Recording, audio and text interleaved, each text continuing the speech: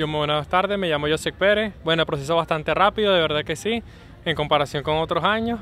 Este, de verdad, todos esos jóvenes que no han salido a votar, el voto es muy importante, ya que si queremos opinar, si queremos hablar sobre nuestro país, tenemos que ser primero que nuestro voto valga. Aquí está la prueba. Jackson Castillo. ¿Cómo te pareció el proceso?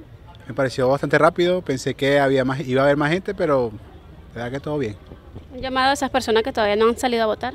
Bueno, animamos a todas las personas que puedan salir a votar y... Bueno, todo bien, rápido a comparación de otros otros días y, el llamado a todas esas personas que vengan a votar porque es nuestro derecho y, Venezuela nos espera.